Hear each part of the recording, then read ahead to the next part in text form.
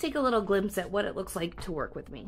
I've been having some conversations with people recently, and I realized that it might help to just kind of put out into the world what it looks like when we start a conversation and get to chatting. My ultimate goal for you, no matter what, is for you to find success in your business. So, what that means is that when we start talking, I'm going to ask you some questions about where you're at, what your goals are, if you have a budget and what that budget is. And then I'm to evaluate the options that I have available, whether it's coaching with me, going through a program that I've been through that I believe in that has helped me, or sending you to another program that I think might help you that I haven't necessarily been in, but I know someone who has. Ultimately, this means that you might not spend your money with me. And as unusual as that may sound, that's okay with me.